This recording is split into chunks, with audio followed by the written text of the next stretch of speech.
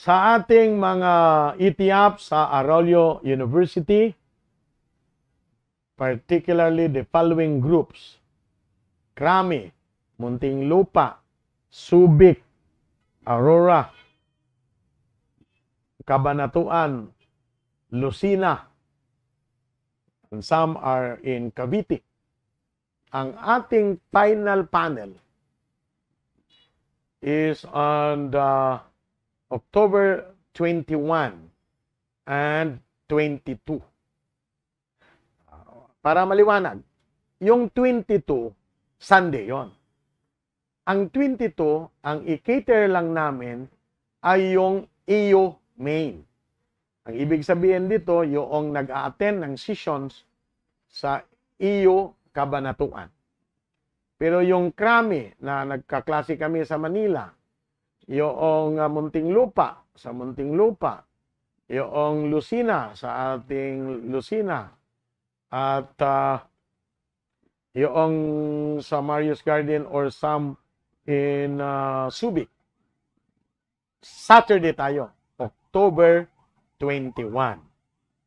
At ang requirements para masali ka doon sa final panel, kailangan natapos mo ang modules 1 to 6 through our website.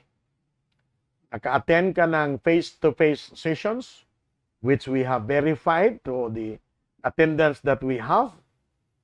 Zoom sessions and uh, of course taken the final assessments. So please get in touch with your coordinators para masitol nyo to bago tayo mag-panel.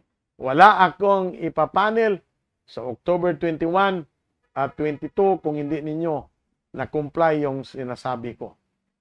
I will now be posting uh, initial final list of ETIAP na pwedeng maipanel bago mag-October 20.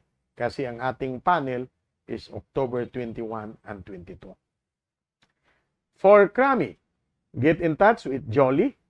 For Muntinlupa, get in touch with Doc uh, Bertudaso. For uh, Lucina, get in touch with Rose, Tayaba, and Morris. And for uh, Subic and uh, uh, Aurora areas, get in touch with Dr. Mario Rositi. And for AU Main, get in touch with Din Bayani Salamanca and Rosel Soriano. Ang uh, ating uh, Pasay will be joining with the group of Professor Manatan. So, uh, makikita mo ang grupo sa Villamor kay uh, Sigfred, uh, Criminology Sigfred Di Malanta. It will also be on the 21. Ulitin ko, yung following groups, Villamor Group of Sigfred Di Malanta, Subic Aurora with Dr. Rositi, Montinglupa with Dr. Bertudaso, Krami with uh, Jolly, uh, Pilar, and uh, Lucina with Rose Tayaba and Morris. Yung mga areas na iyan, may mga coordinator that I have already mentioned. And Pasay, EU with Professor Camilo Manata.